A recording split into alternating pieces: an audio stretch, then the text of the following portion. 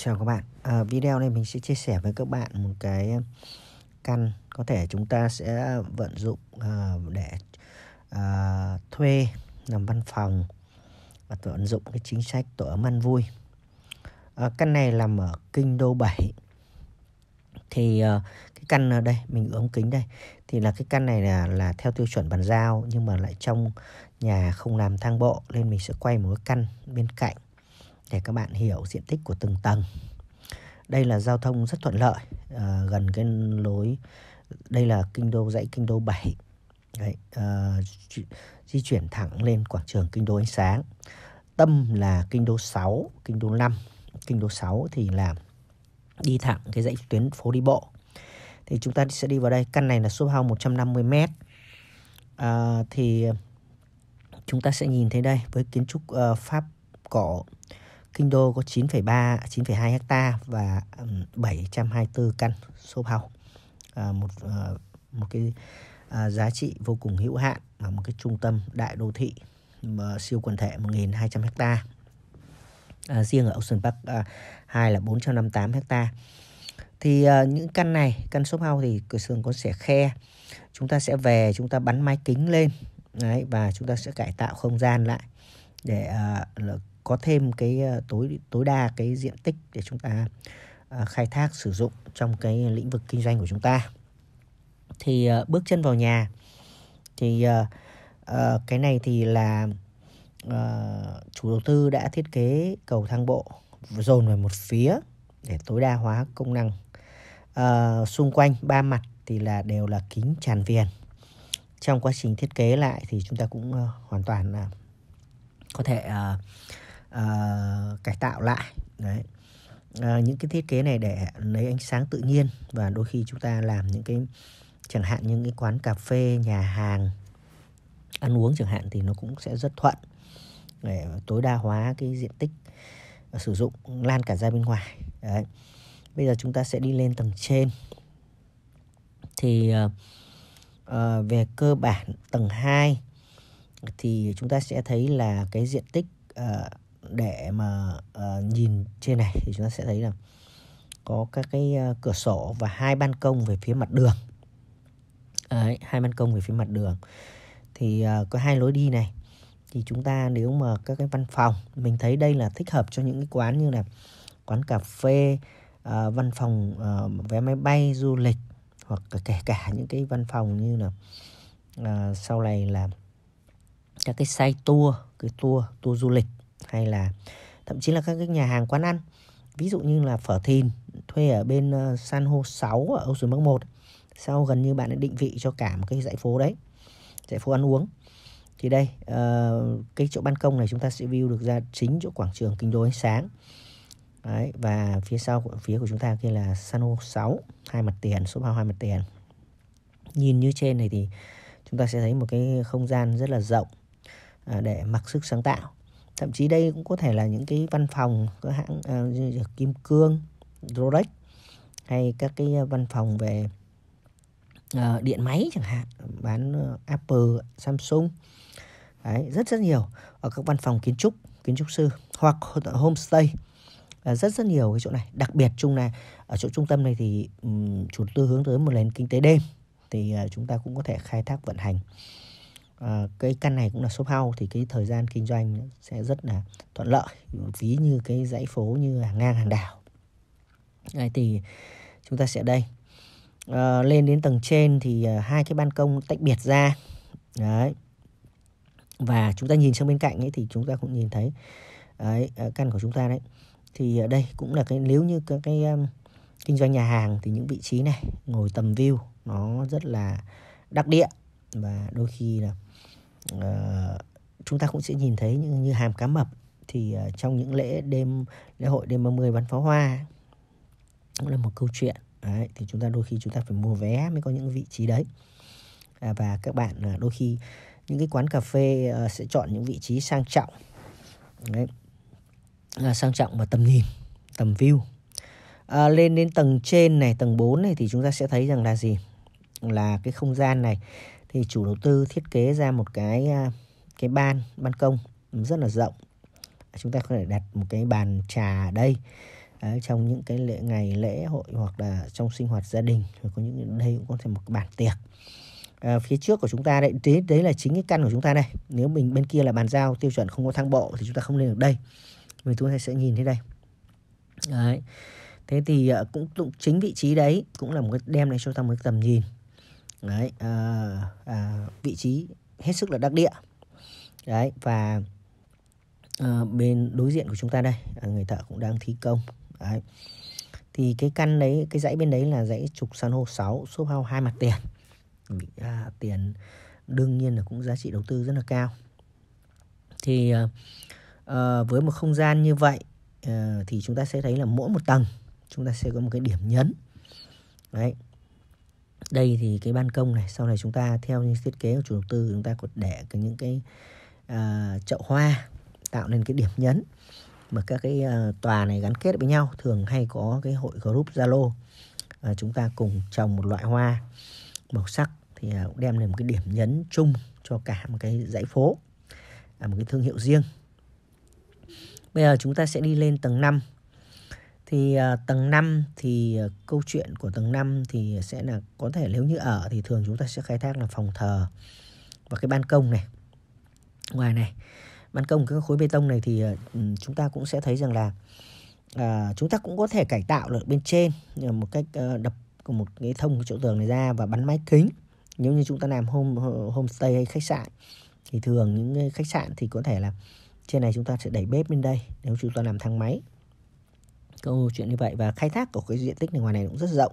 Hoặc thậm chí nếu mà ở sân vườn thì uh, cái tầm view nhưng cũng có thể làm sân vườn được hoặc sân phơi. Thế thì cái uh, câu chuyện của cái cái căn này thì chúng ta trải qua từ tầng 1 đến tầng tầng 5 để chúng ta có thể nhìn thấy rằng là à, chúng ta có thể nhìn thấy là chúng ta sẽ khai thác à, phân chia các phòng thậm chí những tòa văn phòng. Đấy, hoặc kể cả là như ngân hàng chẳng hạn ngân hàng thường thì cũng sẽ thể thuê rộng hơn thì chúng ta sẽ uh, khai thác tài sản ra sao? Ở đây mình đánh giá là về cái lượng cung cầu uh, đương nhiên là bây giờ thì chưa nhưng mà um, mình nghĩ là cái những cái dịch vụ tiên phong của các bạn ấy sẽ được uh, uh, và chúng ta nhìn về ý cảnh ý tưởng startup. Uh, ví dụ như căn này thì chị dự định là uh, cho thuê chị nắm giữ tài sản chứ không không bán nhé. Căn nào mình bảo chia sẻ là có thể là bán thì thì là nhà đầu tư đầu tư thanh khoản thì lại khác nhưng chị này chị sẽ giữ làm tài sản. Thì uh, chị sẽ uh, trên cái mục đích gọi là khai thác dòng tiền thì là uh, với kết hợp với các chính sách của chủ đầu tư nữa. Thì thật sự là vừa rồi chủ đầu tư có ra cái chính sách tổ ấm ăn vui ấy thì uh, cái đơn vị leasing uh, Vincom leasing hoặc Retail họ làm họ có những cái thống kê. Thì đây chúng ta sẽ đi uh, xuống cái dưới cái cái uh, căn này đây chính của chúng ta đây thì chúng ta sẽ thấy đây. Uh, mặt tiền của chúng ta đây mặt căn này. Đấy, và chúng ta sẽ đi vào khai thác à, vào bên trong xem sao.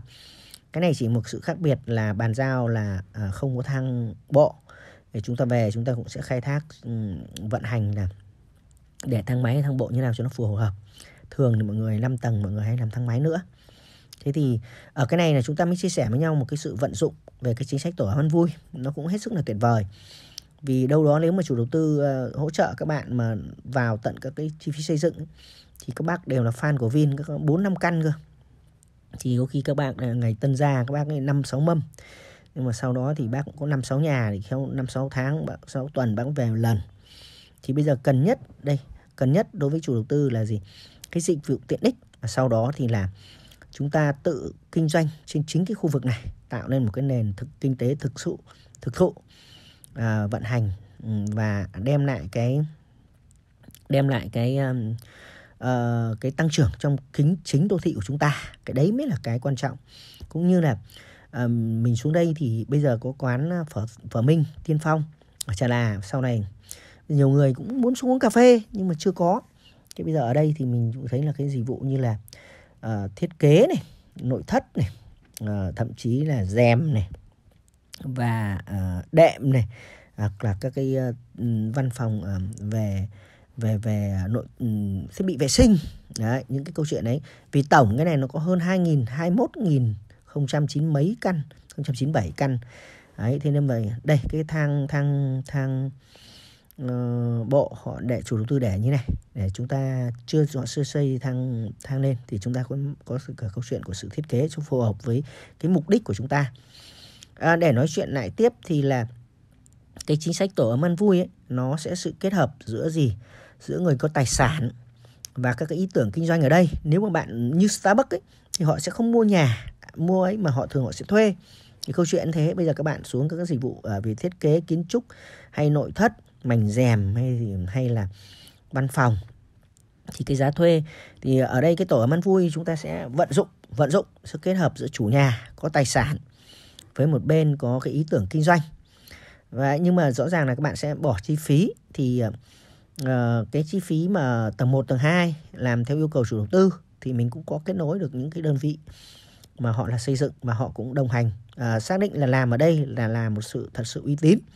Vì thường những khu đô thị này sẽ có những group cư dân mà khi các bạn làm à, không tốt mà làm à, với tư tưởng là ngắn hạn thì à, họ chỉ cần content lên trên đăng trên cái group thì có khi là bạn khủng hoảng truyền thông là bạn sẽ rất là khó trong câu chuyện tồn tại và bước tiếp.